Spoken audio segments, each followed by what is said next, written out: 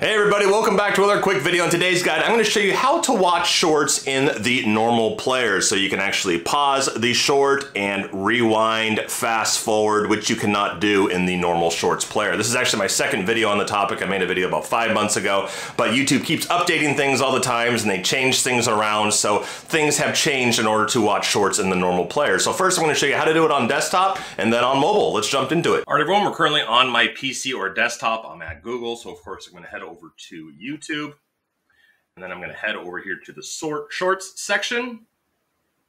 Now let's say I wanted to watch this in the normal player. As you can notice, you can pause it, but you cannot fast forward or rewind. All you have to do is right click on the video, head down to copy video URL, head up, open a new window, right click, paste the link in, hit enter, and as you can see, it will load the shorts in the normal player.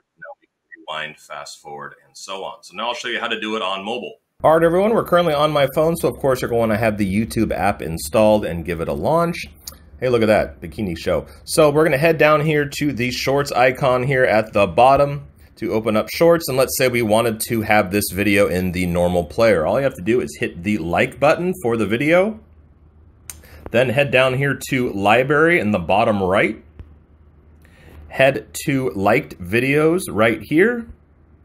And as you can see, here's the shorts that we just watched. If we hit it to open it, we can now pause it, rewind, fast forward, all that stuff. So hope you found this video informative. If you did, please hit that like button and we'll see you in the next video.